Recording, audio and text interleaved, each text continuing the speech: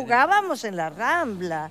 Después recuerdo en Telecataplum, al principio eh, no grabábamos a la noche tarde porque la mayor parte de los actores trabajaban en otra cosa. Claro. Espalter trabajaba en UTE, Claro. entonces no podíamos grabar de día, grabábamos de noche, salíamos de madrugada. Entonces yo de madrugada, a- con mi autito, con mi fitito, venía por la Rambla viendo el amanecer. Claro. Y todo para vos, porque a esa hora imagino poca gente, claro. Nada, era No, y no, una- es- una no era el tránsito que había hoy.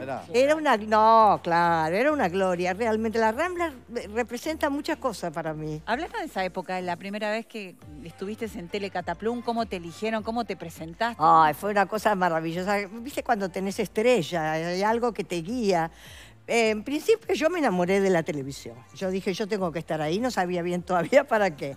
Me presenté en una agencia de publicidad, Amarele Publicidad en esa época, y, y les dije, eh, para hacer locución comercial, que se hacía en vivo, le digo, todas las locutoras que usted- ustedes tienen son horribles, yo soy mejor.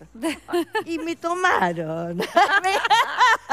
al mes, 100% actitud. al mes, de- sí, sí, la Pará, verdad. pero ¿no habías hecho nada anteriormente? Nada, nada. Había salida del secundario, no sé cómo explicarte. Pero bueno, con un- tenía una confianza en mí digna de mejor causa. Fundamental. porque, Fundamental. porque todavía no tenía nada para Confianza probar. y actitud. Y sí, Claro. Sí, yo creía realmente, me parecían horribles. Digo, eh, yo no puedo hacer mejor.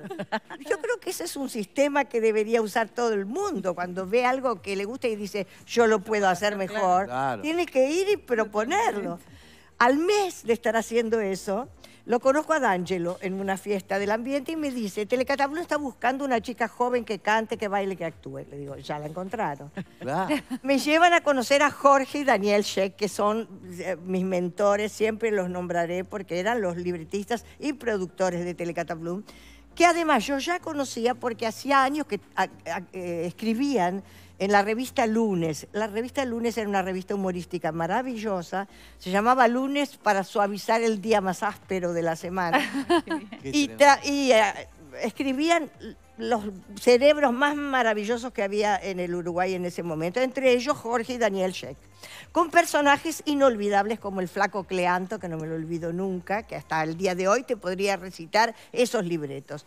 Llego, los conozco a Jorge y a Daniel, y a pesar de yo ser tan joven y tan inexperta, les recito su obra entera. Todo lo que habían escrito yo lo sabía de Claro. memoria. Y ahí no lo podían creer. Lo sorprendiste. Y sí, la verdad que sí. Entonces, yo siempre digo, ellos vieron mi futuro, porque se dieron cuenta que a pesar de que yo era tan jovencita y tan inexperta, tenía este vínculo con el humor, ya, desde Ahora, tan ¿te, joven. te chocaste con algún prejuicio por ser mujer? Porque no era la época de hoy. No, la No. verdad que no.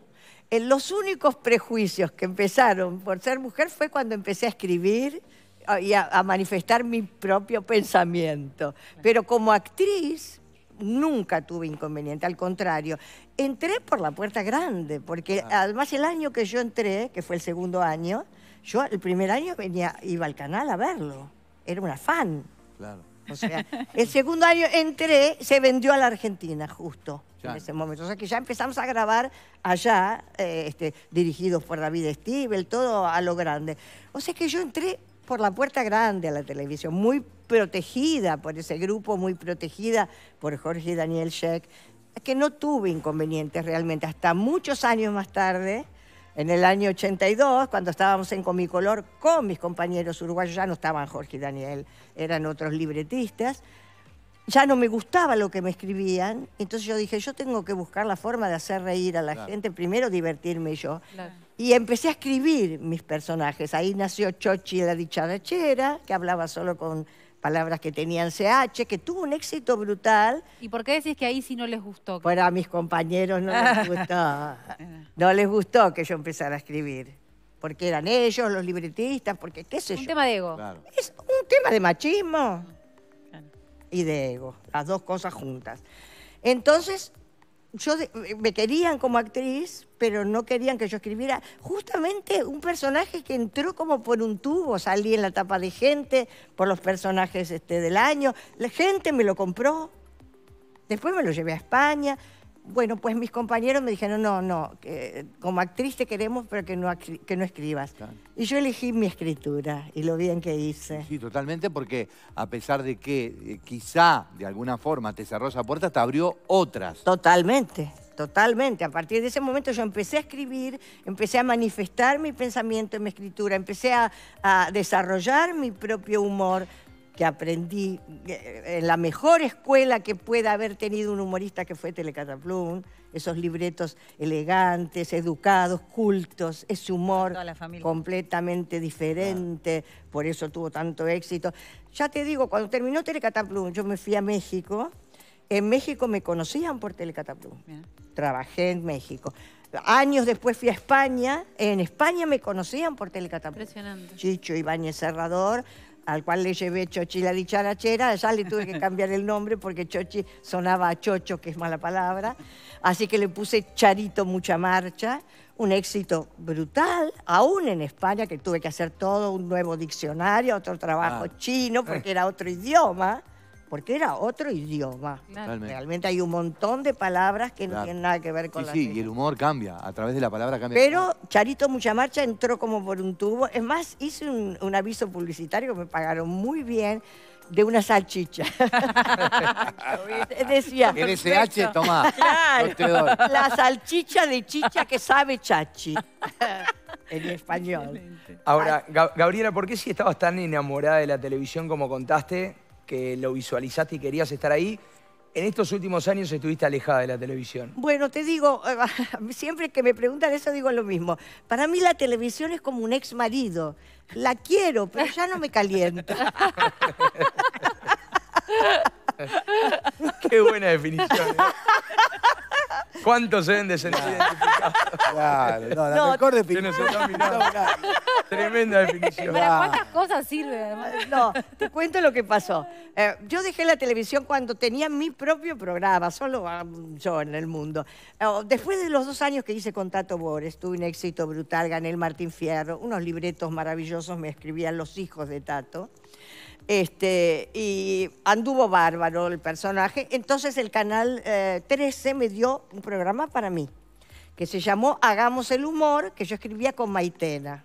Juntas éramos dinamita. Wow, Ah. El programa era extraordinario, pero yo con esta escuela que tengo de Telecataplum quería hacer un programa diferente todas las semanas, no repetir eh, personajes, eh, un, eh, un tema distinto cada vez. Bu- Bueno, y yo escribía, actuaba, dirigía, compaginaba y producía. Claro. Y tenía un hijo de seis años en casa que no veía nunca. Tema de las mujeres. Claro. Porque yo no vi a ningún hombre que dejara su trabajo de estar 24 horas por día fuera de casa, aunque tuviera un hijo chico en casa. Y las mujeres sentimos culpa. Ha cambiado eso igual, ¿eh? No lo podía soportar. Y aparte, ya te digo, muy exigido por mí misma. Claro. Yo, me, yo me impuse ese régimen, Claro. digamos. Eh, No lo aguanté. Te digo la verdad, no lo aguanté. A los seis meses se me caía el pelo, estaba estresadísima. no- no- Y dije, me voy. Me voy. No, no, qued- no me quedó otro remedio que irme. La gente me lo reclamó muchísimo. Entonces yo pensé, bueno, no puedo alejarme de mi público, que vengo remando Claro. tantos años. Entonces empecé a escribir los libros para no separarme del público. Los libros tuvieron un éxito inusitado en toda la habla hispana, no solamente en Latinoamérica. Se vendieron en todas partes. Y a partir de cada libro, un- eh, Mercedes Morán en un momento, porque después de Hagamos el Humor, yo hice como una licenciatura en el tema de la mujer, era muy feminista y mi personaje de la doctora Diu me dejó soltera para siempre, pero los hombres nunca más se me acercaron, sé que se- me confundieron con la doctora Diu y cruzaban la calle cuando me veía. Pero bueno, yo me ofrecí el holocausto por el resto de las mujeres. Y ellas me lo pagaron, porque ahora te digo que son mi público más Claro. fiel. Y la verdad que agradecen el hecho de que yo haya sido la primera feminista de la, de la te- televisión argentina. ahí te vemos con Antonio. Buena 91. Sí, ahí, ahí te veíamos con Antonio Basalla antes, ¿no? Con Antonio ¿Cómo estuve- fue trabajar con Gasalla? Divino, divino. Fue una experiencia fabulosa. Año 75 hicimos que son. dos años de temporada extraordinaria en el Teatro Estrellas. Este es, esto es Comicolor, ¿ves? Ya con el grupo de uruguayos Esta soy yo haciendo de mina en Telecataplum. Estaba igualita. Hermoso. Eh, Qué maravilla. esto fue en Bariloche, una, una cosa particular que hicimos. Tato, Tato. Palabras mayores. Sí, después de Telecataplum, la verdad que lo que me tocó hacer en Tato fue extraordinario y Tato tenía una superproducción parecida a Telecataplum. A Telecataplum. Por algo estuvo 30 años en la televisión, ¿no? Eh, Vol- Volviendo a la escritura, ¿qué encontraste a través de la escritura que hizo que la gente, esto que decís, que fuera un furor y que las mujeres se sintieran tan identificadas? Bueno, precisamente, esa es la pregunta. A partir del programa Hagamos el Humor, que yo hice como una licenciatura en la mujer, con todo lo que escribí, y con Maitena, empecé a dar charlas. La gente me convocaba para dar charlas, los psicoanalistas, los médicos, todos los que te puedas imaginar me convocaban para dar charlas. Y un día Mercedes Morán, que éramos muy, muy cercanas en ese momento, me dice, ¿cuánta gente va a tus charlas? Le digo, 400, 500 personas. Me dice, ya haces un unipersonal. No, le digo, yo no, no- no me podía imaginar estar sola en el escenario, a pesar de que ya tenía una experiencia de teatro, de cosas, había ganado premios de teatro, pero con otros. No, no, me dice, trae tu libro. Yo ya tenía un libro escrito, empecé a escribir. eh, el- el- la guerra de los sexos está por acabar con todos. Este, y, me di- y me ayudó a armar el primer unipersonal. Ahí hice las memorias de una princesa judía. que eh, ustedes son todos muy jóvenes, no se van a acordar, pero yo es un juego de palabras por un libro porno que existía cuando yo era chica, que nunca lo llegué a ver porque no estaba permitido, que se llamaba Memorias de una princesa rusa. Entonces yo haciendo un juego con eso le puse Memorias de una princesa judía, pensando que todo el mundo iba a conocer la memoria de la princesa No rusa. tenía ni idea. Por supuesto que no, pero bueno, no importa. Y así empecé con el unipersonal. El unipersonal tuvo un éxito, una repercusión. Y lo que vos me preguntabas era, cuando yo empecé a escribir, antes de los libros, en las revistas, escribía sobre problem- problemas personales, con los varones generalmente, y tuvo tanta repercusión en las otras mujeres que yo me di cuenta de que lo que yo creía que eran problemas personales Eran eran de todo, problemas del de género, Claro. del género femenino. Esto despertó mi feminismo de una manera, me dio una identificación tan Claro. grande con el resto de las mujeres. Me di cuenta de que vivir en un cuerpo de mujer significa pasar por una serie de experiencias comunes. Menstruaciones, embarazos, menopausias, partos, eh, pospartos. Eh, Vivir en un cuerpo de mujer significa que por muy diferentes que seamos, somos parecidas Claro. cosa que no sucede con los varones. No se puede generalizar los varones porque ustedes no, la vida no pasa por sus cuerpos de la misma manera que por el cuerpo de una mujer. Pero con las mujeres sí. Entonces esto me dio un amor, una, identificación, un cariño por el resto de las mujeres tan grande que no se me fue nunca. Y a partir de ahí fue que fui decidiendo en cada libro, en cada experiencia que yo tenía que contar, lo que me pasaba, ir acompañando a las mujeres en cada etapa de nuestras vidas con humor para que nos sintiéramos acompañadas y nos diéramos Ahora, el cuenta. humor ahí es fundamental, ¿no? Totalmente. Para vivir y transitar. Sí, sí.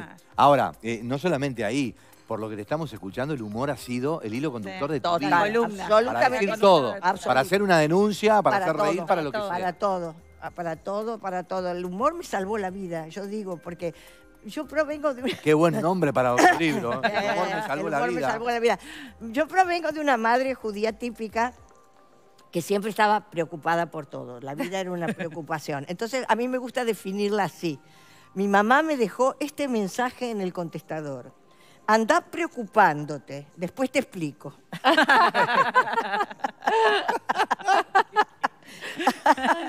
Así que para mí el humor fue, viste, salvaguarda total. O sea, tuve, tuve que, que acudir al humor por, por- por supervivencia. Y a nivel familiar, ¿cómo transitaron todas estas versiones? ¿Qué Como cosa ma- no te A nivel familiar, ¿cómo se transitaron estas versiones? Bueno, en principio... como madre, como... Eh, ah, como madre fue genial, porque eh, la maternidad me dio mucho material para el humor. Entonces, eh, yo hice una tranza con mi hijo, porque siempre le dije, yo te voy a mostrar todo lo que escribo, porque yo voy a escribir sobre nuestra realidad. pero vamos a ganar un dinero que yo te voy a poder comprar todo lo que vos quieras en la vida. Está bien. Claro. Y mi hijo tiene un gran sentido del humor, porque el Y nunca te reclamó, siempre todo bien que No, al contrario, no, disfruta como nadie. Bueno. Tiene gran sentido del humor. El padre también lo tenía. Yo solo pude transar con varones con gran sentido del humor. Era lo primero que les exigía. Entonces, este, no, mi hijo, bien. Mi madre no le gustó No le tanto. gustaba Claro. Porque mi madre también, hija de su tiempo, como todas las de esa época, más reservada. era. Después descubrí que cuando hice el espectáculo Algo sobre mi madre, todo sería demasiado. Y yo pensé, digo, ay, la gente lo que va a decir cuando vea las cosas que digo de mi madre. Bueno, Pero- la gente me mandó material que lo mío era un Nada. mosquito Nada. al lado de eso. Claro. Las cosas más divertidas. Yo les dije, mándenme sus experiencias con su madre, que si están buenas yo las voy a incorporar. Claro, tal cual. Las incorporé, yo no te puedo. Para Gabriel, no entendí. ¿Y cómo reaccionó tu mamá? Tremendo. Mi mamá no le... eh, el humor, eh, por eso digo que era hija de su tiempo, le parecía menos digna que el drama. Claro. Como a tanta gente. Claro. Vos viste que no Ese hay un prejuicio Oscar de- para el humor, por ejemplo.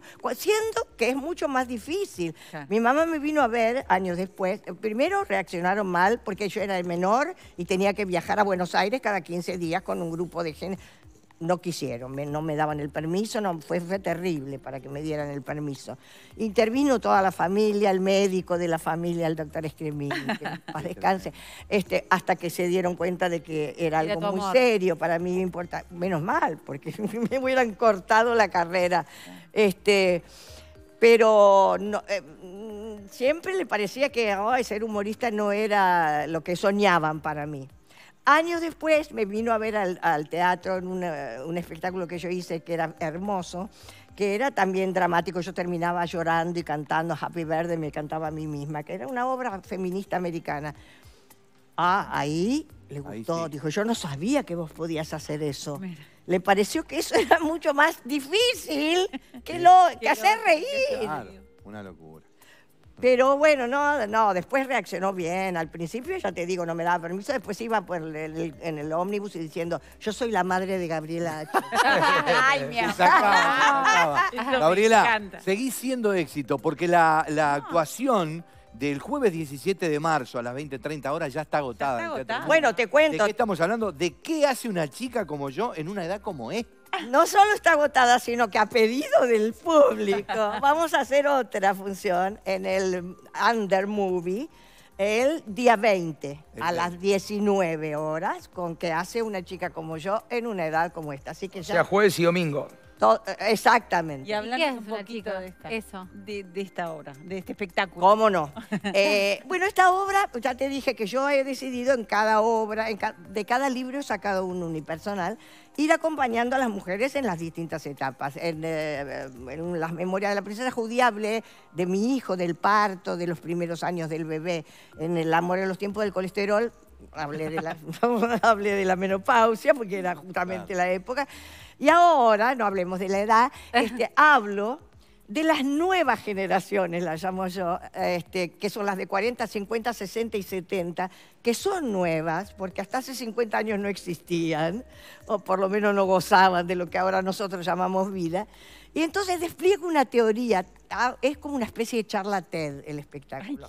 Bueno. Una teoría científica en la cual estas generaciones nuevas, a fuerza de divertirse más que sus madres y abuelas, han logrado correr el gen del envejecimiento 20 años para atrás. Entonces, los 70 son los nuevos 50, los 60 los nuevos 40, los bueno, 50 así, eh, sucesivamente los 40 los nuevos 20 y las de 20 todavía no nacieron. Con bueno. esta premisa parte el espectáculo, por supuesto, lleno de humor. Y hay, además de la charla TED, un ah, consultorio sentimental infaltable, en el cual yo estoy transmitiendo online, por lo tanto estoy recibiendo vía fax cartas y consultas de todas partes del mundo acerca de las mujeres con sus inconvenientes a los 40, a los 50, a los 60, a los 70. Qué maravilla. Sí, bien. qué Qué maravilla, divertido. Un éxito No, total. bueno, Así que nueva función entonces el domingo a... El domingo 20 a las 19 19 en el Under Under Movie. eh, Para todos los que se quedaron con ganas de venir a esta, qué este, que por favor vengan a esta otra que nos vamos a divertir, eso seguro. Yo siempre les digo lo mismo. Si les gusta reírse, vengan. Bueno, Gabriela, ha sido un placer tenerte aquí con nosotros. Maravilla. Gracias, gracias a ustedes, chicos. Gracias. Placer Éxito. infinito. ¿Vamos a la pausa? Pausa.